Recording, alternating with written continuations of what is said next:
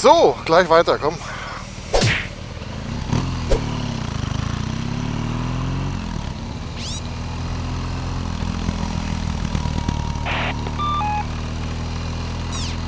So, damit sind wir jetzt in Ungarn. Die haben sich wieder mal Späßchen erlaubt hier, die beiden. Äh, es war sowohl der rumänische als auch der ungarische Kollegen stehen auf dem gleichen Kontrollposten. Einerseits ist das zwar lustig,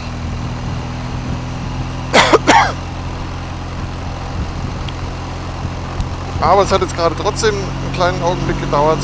So, aber jetzt sind wir durch und jetzt sollten wir eigentlich auch nicht mehr kontrolliert werden, selbst wenn wir nachher in die Slowakei einreiten.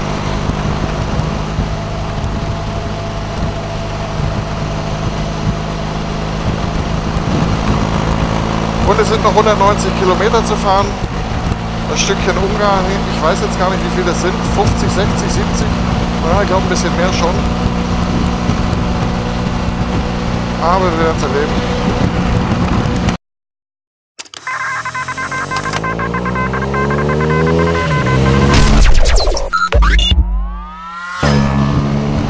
Es geht hier wieder endlos geradeaus in Ungarn. Kaum bist du über der Grenze, dann geht diese wirklich endlose geradeausfahrerei wieder los.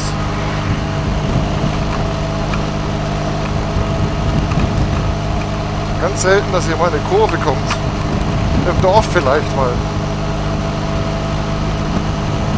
Aber ansonsten geht es nur stur geradeaus.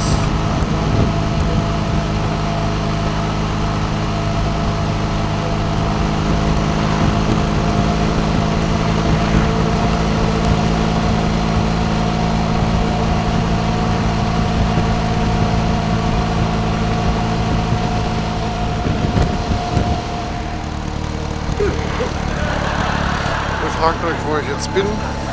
Ich kann es euch nicht aussprechen. Die ungarischen Städtebezeichnungen sind für mich unaussprechlich, deswegen muss ich es euch hier einblenden. Irgendwas mit Fehen, Gyros, Automat oder was weiß ich. Keine Ahnung. So, es fällt sofort auf, dass die Bahnübergänge hier einigermaßen brauchbar gestaltet sind. Man muss nicht ganz auf einen Stillstand runterbremsen, um hier ohne Federbeinbruch rüberzukommen. Tja, und wir haben die Uhrzeit wieder eine Stunde zurückgestellt. Wir haben jetzt also hier wieder die gleiche Uhrzeit wie in Deutschland auch. Sehr angenehm. 13.13 Uhr, während ja in Rumänien es jetzt 14.13 Uhr ist. Ja, und die Temperaturen sind auch wieder einigermaßen im erträglichen Bereich haben jetzt nur, nur 30 Grad. Als wir letzte Woche nach Ungarn reingekommen sind, hatten wir ja 40. Aber trotzdem muss ich sagen, dass diese 40 Grad hier, also Ungarn und auch in Rumänien, sich wesentlich leichter ertragen lassen als zum Beispiel 40 Grad zu Hause in Deutschland.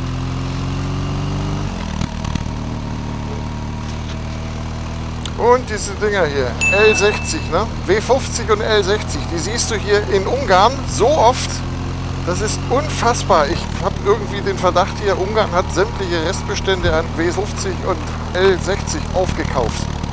Bei sämtlichen Baustellen, wo irgendwelche Baufahrzeuge unterwegs sind, sieht man die Dinger. Und hier auf dem Land sowieso. Unglaublich. Aber es zeigt auch, wie unverwüstlich diese Dinger sind diese IFA-Teile. Die haben sie damals anscheinend für die Ewigkeit gebaut. Deswegen sind die auch pleite gegangen. Man darf nichts für die Ewigkeit bauen. Man muss Zeug bauen, was nach zwei, drei Jahren kaputt geht, damit die Leute kommen und was Neues kaufen. Ja, und weil wir so blöd sind und es dann auch tun, gibt es auch nichts mehr, was lange hält. Genau das ist der Grund. Niemand baut mehr Zeug für die Ewigkeit.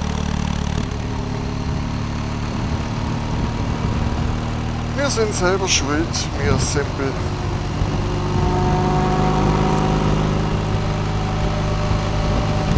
Das geht so ein kleines bisschen durch Flachland hier. Aber dennoch werden wir die Karpaten nicht komplett verlassen, denn äh, die Hohe Tatra gehört ja streng genommen zum selben Gebirgszug. Das sind die Ausläufer im äh, im Nordwesten. Aber wir kürzen hier so ein kleines bisschen ab. Fahren also nicht den ganzen Bogen rum. Geht ja sowieso nicht, weil die Karpaten dort im Nordosten durch die Ukraine gehen. Aber die kommen hier wieder im Grenzgebiet Ungarn und Slowakei, kommen sie wieder raus. Und wenn wir dann morgen äh, weiterfahren von Kosice, dann kommen wir richtig in die Hohe Tatra, wo es nochmal noch mal ein bisschen hoch geht, nochmal ein bisschen bergig wird. Schau dir mal diese Nebel hier an. Ich weiß gar nicht, ob das, oh, liegt mich am Arsch, ob das im Video rüberkommt.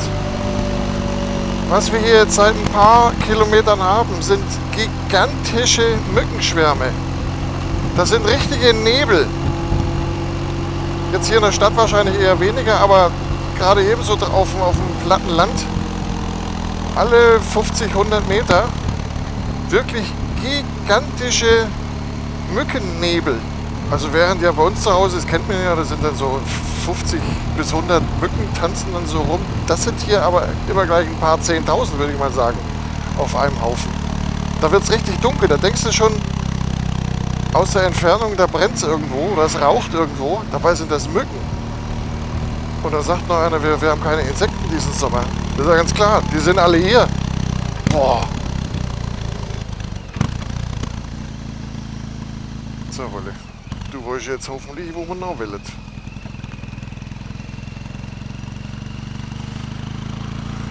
Sieht gut aus, sieht gut aus. Und jetzt geht es hier über die Theiß, wenn ich die Schilder hier richtig deute.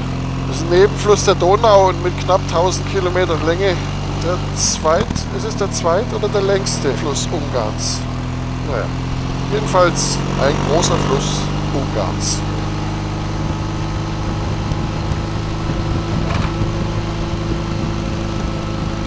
Gerade durch so einen Mückennebel durchgefahren, er hat es gleich mindestens 20 Mal Batsch gemacht auf dem Visier da.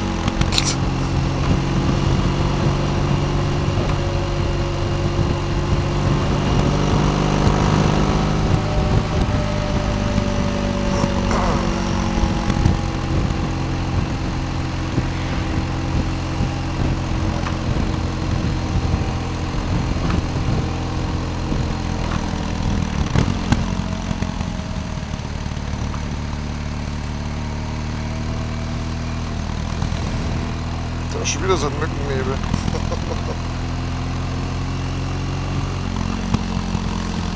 muss bloß ein bisschen aufpassen, hinter mir ist schon wieder so ein elender Drängler da.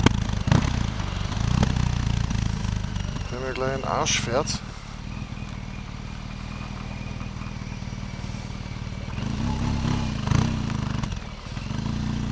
Wolle, fahr jetzt an dem vorbei.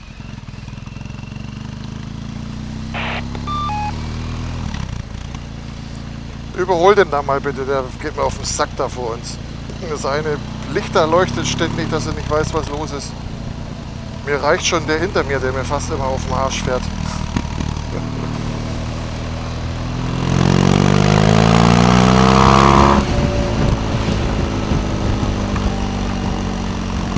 Vorne leuchtet auch bloß die Hälfte daneben. Also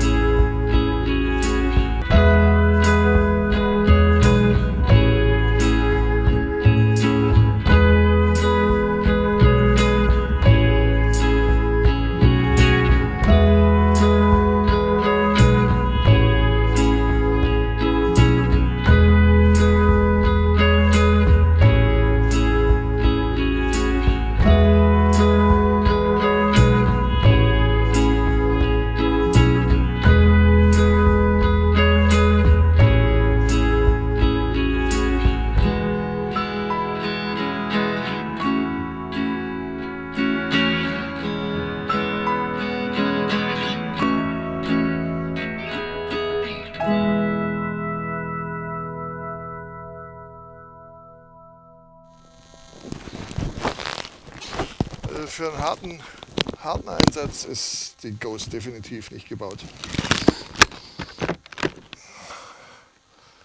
So ein bisschen hin und her fahren, mal ein bisschen hier filmen, mal ein bisschen dort, da ist sie gut genug, aber für sowas hier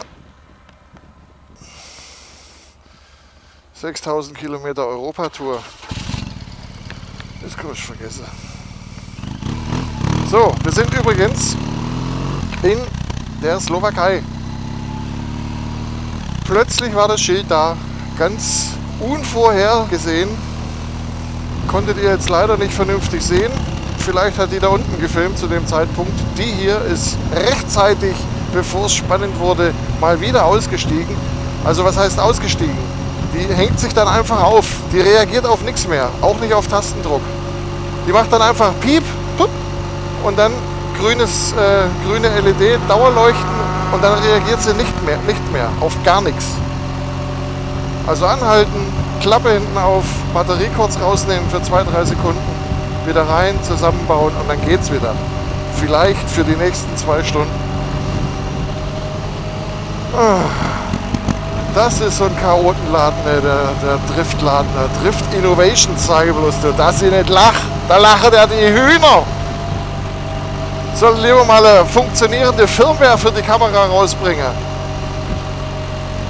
Da ist schon wieder da so ein riesen Mückenschwarm. Also Mücken, Mücken sind hier in der Gegend. Das habe ich noch nicht erlebt, sowas. Noch nicht erlebt. So, guckt euch mal die schöne Burgruine an da. Nova heißt der Ort, glaube ich. Also heißt er natürlich nicht. Der heißt Velki Kamenetz. Wow.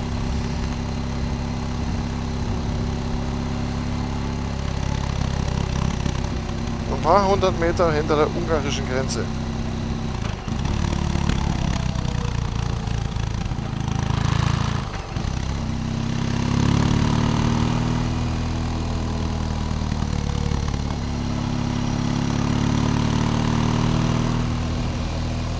Jetzt sind es noch 80 Kilometer bis Kosice.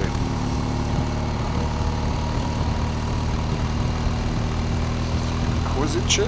Wie heißt das auf Deutsch? Kaschau? Ich glaube Kaschau.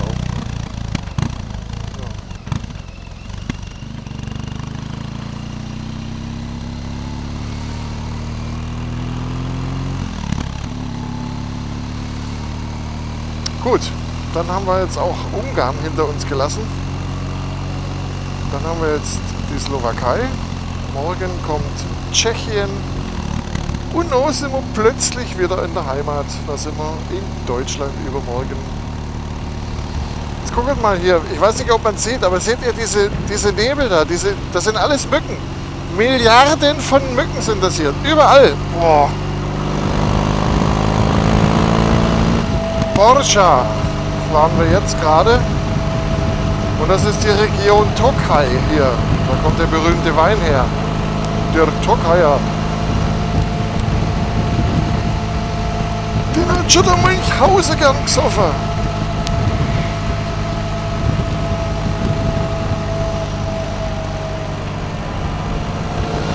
Meine Güte, ist das wieder eine Ruckelpiste hier da.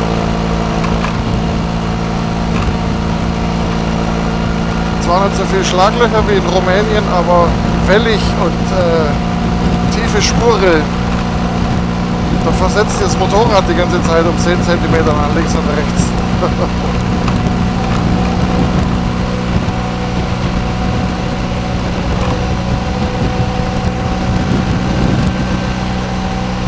Noch 50 Kilometer bis Kosice.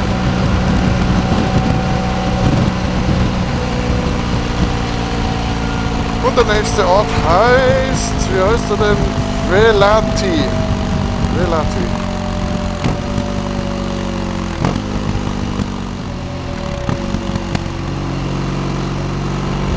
So, was war jetzt da 30 da oben auf der Brücke?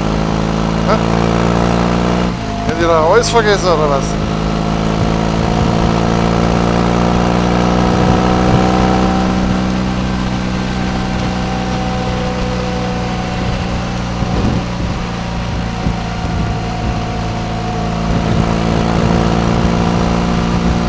Ja, eigentlich hätte es kühler werden sollen, je weiter wir nach Norden kommen, aber genau das Gegenteil ist der Fall. 32 Grad zeigt der andere Kerle.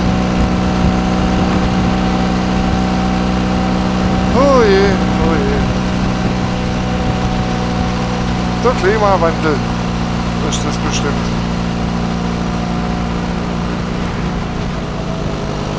Guck mal, ist das was oder ist das nichts da? Das ist schon wieder ein geniales Panorama.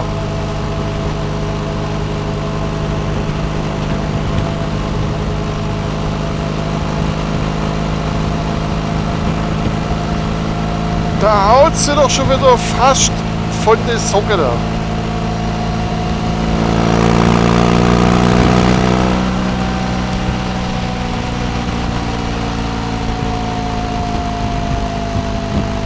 Slatske Nove... Was? Ich hab's gar nicht so schnell lesen können. Ich hab's nicht so schnell lesen können.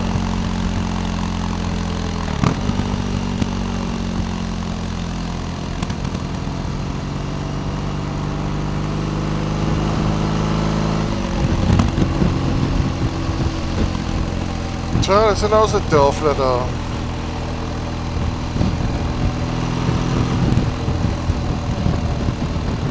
Und überall die Mücken.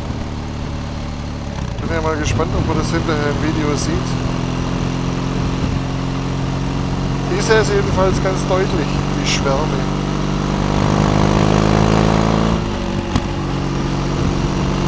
Und es geht bergauf.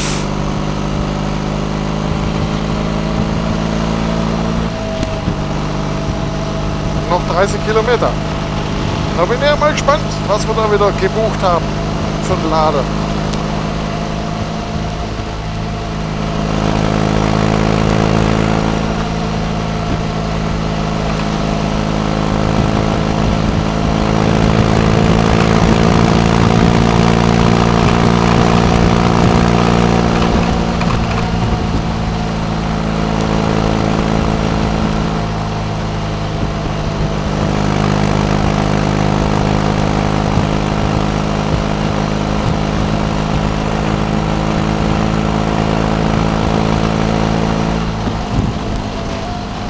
So, Kaschau ist in Sicht. Koschitze. Ich glaube doch, dass es das ist, aber was soll das sonst sein? Wir werden es jedenfalls erleben. Ist ja nicht mehr lang. Und dann ist der heutige Tag geschafft.